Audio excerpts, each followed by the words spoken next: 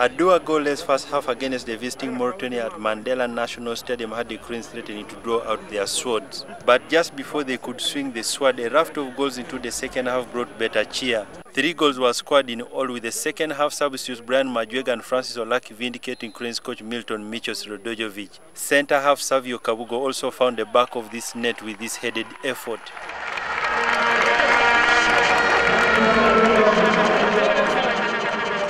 Earlier, Majwega's free kick had fired Cranes into their lead, Olaki putting gloss on the results with this opportunistic finish after a scramble in the penalty box.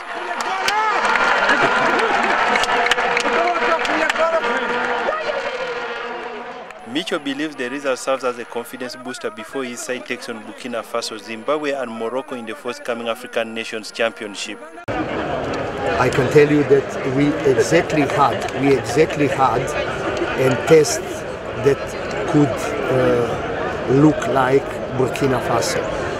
We would need uh, maybe two more tests, one of Arab style that Morocco plays, one of South African style, but unfortunately uh, we have succeeded to secure this and I'm grateful.